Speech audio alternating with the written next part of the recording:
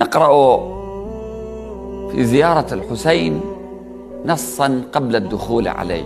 الحمد لله الذي هدانا لهذا وما كنا لنهتدي لولا الله الذي هدانا لهذا وما كنا لنهتدي لولا أن هدانا الله. من نعم الله علينا أن تعرفنا على النبي. وعلى أن هدنا إليه واهتدينا إلى تعاليمه ومواعظه وشرائعه. النبي كرامة من الله للبشرية. هدية الله إلى الناس أجمعين. كذلك أهل بيت النبي.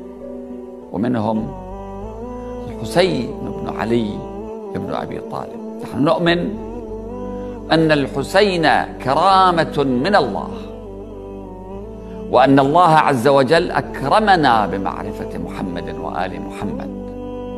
فله الحمد. إذ لا كرامة أعلى من ذلك ولا عزة أعز منه.